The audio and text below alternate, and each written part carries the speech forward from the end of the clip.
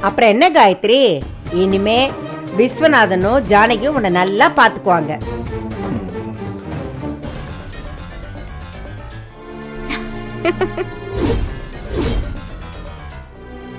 கவலையே படக்கூடாது. நீ அழக்கூடாது முதல்ல. புரியுதா? எல்லாரும் போய் கல்யாணத்துக்கான வேலையெல்லாம் பாருங்க. நான் ஜோசியரை பார்த்து சீக்கிரமே உங்களுக்கு முகூர்த்த நாளை குறிக்கிறேன்.